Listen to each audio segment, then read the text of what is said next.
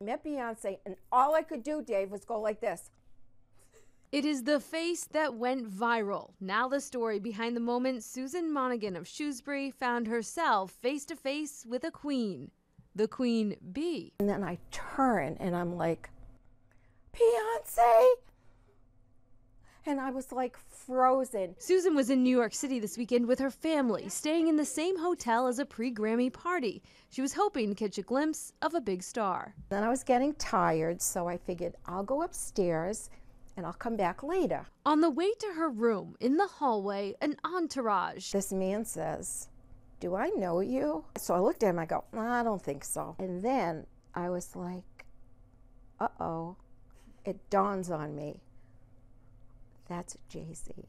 So I turned and I went, Oh! She says, You're never going to guess who I met. And I'm like, Who? Jay Z and Beyonce. I go, You're right, I don't believe it. You know, I didn't take a selfie. No one's going to know. No one, except give or take 5 million or so, after Beyonce posted the picture on her Instagram.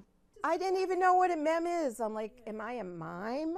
I'm like, is it a meme?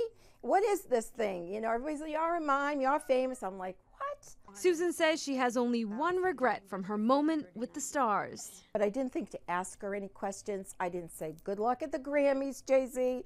You know, I didn't say anything. I was just, I'm lost. In Shrewsbury, Nicole Estaphan, WCVB, News Center 5.